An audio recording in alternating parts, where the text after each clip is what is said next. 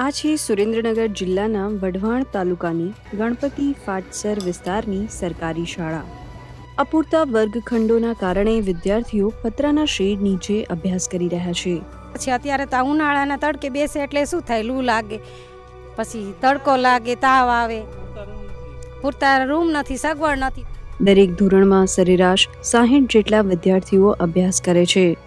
સામે અપૂરતા વર્ગખંડોના લીધે મેદાનમાં પતરાનો શેડ તૈયાર કરવામાં આવ્યો છે.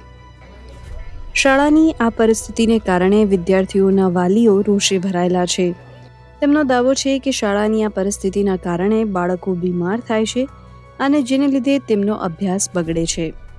અત્યારે આ સ્કૂલને બહુ તકલીફ છે. છોકરાઓ તડકા નીચે પતરા નીચે આવી ગરમીમાં પતરા નીચે ભણે છે. અમારે પ્રાથમિક શાળા શિક્ષકમાં ઓરડાની ખામી છે. અને છોકરાઓને તડકો, તાપ, કોઈ ઓરડા આગળ કોઈ વ્યવસ્થા નથી, તો એ કરી આપવા વિનંતી. હું ગણપતિ ફાટસર વિસ્તારની અંદર રહું છું અને અહીંયા અમારે પ્રાથમિક શાળા છે જે. ત્યાં ઓરડાનો અભાવ છે, છોકરાઓને ગરમી હોય તો પતરાની નીચે બેસવું પડે છે, વરસાદ આવે ત્યારે પણ તકલીફ પડે છે. અહીંયા જો સરકાર અમને અહીંયા વ્યવસ્થા થોડી કરી દે અને અમારે અહીંયા ગણપતિ ફાટસરમાં જગ્યા પણ છે. જો એ જગ્યા અમને ફાળવવામાં આવે તો સ્કૂલ સરસ મજાની અહીંયા બની શકે એવું છે. અને આ વિદ્યાર્થીઓ જે છોકરાઓ અમારા અહીંયા ફાટસરમાં ભણે છે, એ કાલનું ભવિષ્ય છે. પણ એ ભવિષ્ય અત્યારે પતરા નીચે છે. જેથી કરી અને સરકાર આ બાબતે વહેલી તકે ધ્યાન દોરી અને છોકરાઓ માટે કંઈક કરી આપે સ્કૂલની વ્યવસ્થા એવી નમ્ર અપીલ. એ અહીંયા ભણે છે. રોજ કે બા, મને તડકો લાગ્યો છે. બા, આજે મને તાવ આવ્યો છે. મને માથું અત્યારમાં દીના દાદા દવાખાને લઈને આવ્યા, બરાબર? પત્ર નીચે બેસવાનું. તો છોકરા વારંવાર એમ કે, બા, આજે મારે સ્કૂલે નથી જવું. બા, આજે મારે બેટા જાવ ને મારા દીકરા. તો બા, અમારે કેમ બેસવું તડકામાં? તો છોકરા સ્કૂલે જતા નથી પાછા આવે છે.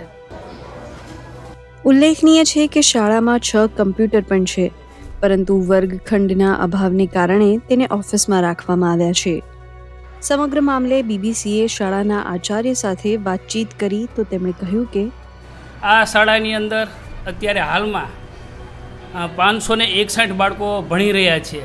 અને આ શાળાની અંદર એકથી આઠ ધોરણ સુધીના બાળકો અભ્યાસ કરી રહ્યા છે. અને આ શાળાની અંદર બે હજાર ચૌદ પંદરથી ઓછા ઓરડા હોવાથી સરકારશ્રી દ્વારા, એસએમસી દ્વારા, મારા દ્વારા ત્યારથી મેં સરકારી જમીન આ વિસ્તારમાં ન હોવાથી જમીન મેળવવા માટે પ્રયત્નશીલ છીએ. સરકારશ્રી તાલુકા જિલ્લા લેવલે જે શિક્ષણ કચેરી છે, એ બે હજાર પંદરથી અત્યાર સુધી સતત પ્રયત્નો કરી આ શાળાના ઓરડા કેમ બને અને જમીન મળે તે મારી સાથે રહીને કોશિશ કરી રહ્યા છે. પણ સરકારી જમીન ન હોવાના કારણે આ નિશાળના જે પ્રશ્ન છે, ઓરડાનો એ થઈ શકતો નથી.